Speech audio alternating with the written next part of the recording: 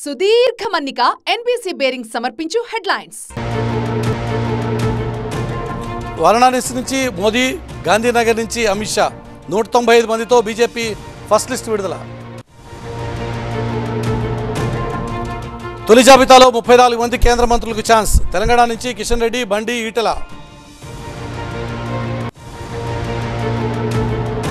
నేను చచ్చేంత వరకు జనసేనతోనే ఉంటా. పవన్ అధికారం చేపట్టే వరకు నా పోరాటం ఆగదన్న హరిరామ జోగయ్య. ఇందిరమ్మ ఇంట్లపై రేవంత్ రెడ్డి సమీక్ష మంత్రులు అధికారులకు సీఎం కీలక సూచనలు.